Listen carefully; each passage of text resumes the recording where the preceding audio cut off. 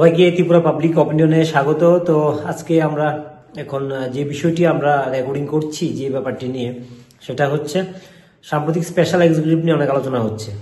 যে special executive কি লিখিত পরীক্ষা হবে, নাকি মৌখিক পরীক্ষা হবে, কবে নাগাদ নেবে, এগুলো নিয়ে আলোচনা হচ্ছে।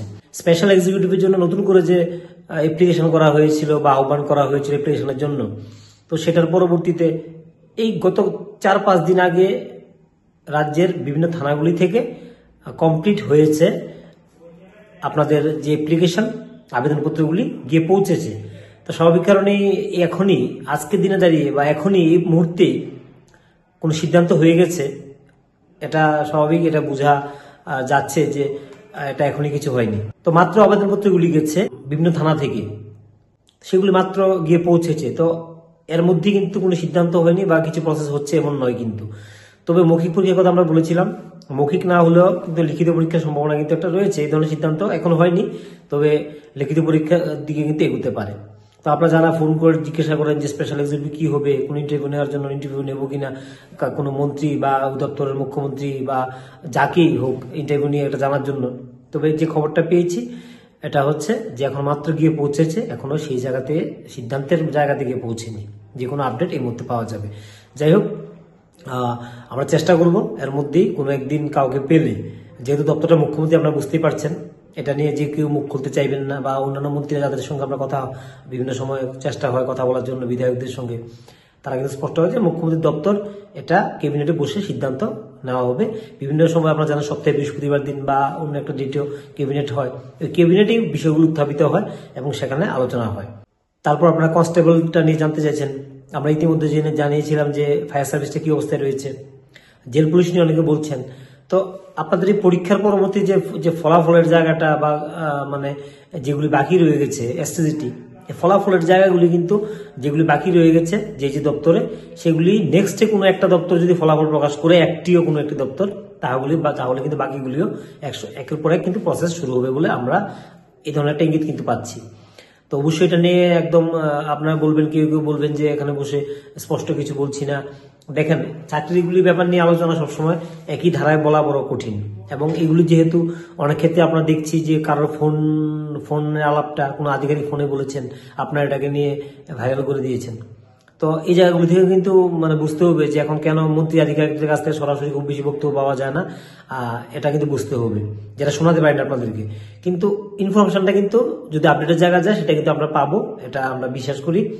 এবং একটা হচ্ছে কি গিয়ে, যে আপনারা দেখছেন যে যারা টিএসআর চাকরি পেয়েছিল, মহিলা ব্যাটালিয়ন রাজ্যের প্রথম, তাদেরকেও কিন্তু পোস্টিং দেওয়া শুরু হয়ে গেছে। বিআরপির পর সিআরপিও কিন্তু পোস্টিং সিআরপির পোস্টিং কিন্তু দেওয়া শুরু হয়ে গেল। আমরা দেখলাম, আপনারা দেখলেন। তো আপডেটটা একের পর হচ্ছে। শুধু আপনার যেটা ভাবছেন, আপনি যেটা দাবি নিয়ে বসে আছেন, আপনারটা হতে হচ্ছে না। বাকিগুলি হচ্ছে। শুধু আপনারটা হচ্ছে না, আমারটা হচ্ছে না এর অর্থ এই নয় যে কিছু হচ্ছে না। যে জিআইবিটির দপ্তর এগ্রিকালচার ডিপার্টমেন্টের চাকরি অফার দেওয়া হয়েছে, আপনারা দেখেছেন। এগ্রিকালচার পরবর্তীতে এখন ফিনান্স দপ্তরও দেখলেন আপনারা অফার দেওয়া হলো। তো হচ্ছে প্রসেসিং বাকিগুলিও হবে। একসঙ্গে সবগুলি হবে, এটা ভাবাটা ভুল। কাজ কিন্তু হচ্ছে। কিন্তু আপনাদের কিছু প্রসেস এগুলি আপনাদের যারা প্রত্যাশী রয়েছেন, অনেকদিন ধরে পরে আছে। যেমন এসএসটি ওয়ান অফ দেম এবং এটার কারণটা আমরা বারবারই বলছি যে এতটা দেরি হওয়ার কারণ কি? সেখানে কাউকে দোষারোপ খুব বেশি করে লাভ নেই। এবং অন্য কয়েকটা যেগুলি আছে, অনেকে স্টাফ নার্স নিয়ে বলছেন। স্টাফ নার্স এটা মানে মেডিকেল যে জায়গাটা মানে হেলথের জায়গাটা একটা সেন্সিটিভ জায়গা। এখানে নিয়োগটা খুব জরুরি। স্বাস্থ্য পরিষেবা নিয়ে যখন প্রশ্ন উঠে এটা খুবই জরুরি এবং এটা নিয়ে আপনারা বেশ কয়েকবার আন্দোলনও করেছেন, আমরা দেখেছি। তবে যদি সুযোগ হয় মুখ্যমন্ত্রীর কাছে, সেটা আমরা কিন্তু হেলথ ডিপার্টমেন্টের বিষয়টা নিয়ে আমরা কথা বলার চেষ্টা কিন্তু আমরা করব। যদিও আমরা এখন খুব বেশি পাই না, এবং আপনারা জানেন যে গত কয়েকদিন ধরে আমরা খুবই মানে একটা কঠিন পরিস্থিতির মধ্যে ছিলাম, যেহেতু আমাদের পেজগুলিকে হ্যাক করে নিয়েছি। অফিসের পিসিটাকে হ্যাক করে নিয়ে হয়েছে, সম্পূর্ণ লাল হয়ে গেছে, এবং এখান থেকে কোনো কিছু করলে সবগুলি ডিটেলস আসছে বাইরের বিভিন্ন জায়গা থেকে। যাই হোক, অনেকে এর মধ্যে ফোন করেছেন, তো খুব একটা কঠিন টাইমের মধ্যে আমরা কাটিয়েছি, কিন্তু আমরা বলছি আরেকটা ব্যাপার হচ্ছে, দেখেন অনেকে আমাদেরকে বলেন যে, দাদা, আপনি চাকরি নিয়ে এতগুলি কাজ করেন, এত কথা বলেছেন, এত কিছু। ঠিক আছে, কিন্তু আপনার হচ্ছে না গ্রোথ হচ্ছে না ইউটিউবে সেখানে। তো এটা বলতে যে অনেকে বলেন, আমি তো আপনাকে কাউকে খুব কম বলি যে সাবস্ক্রাইব করে না আসেন, কিন্তু এটা ঘটনা যে মেম্বার ফ্যামিলি বড় হলে সেখানে কিন্তু এপ্রিসিয়েট পেলে, ভালো কিছু পেলে কিন্তু একটা কাজ করা সহজ আগে।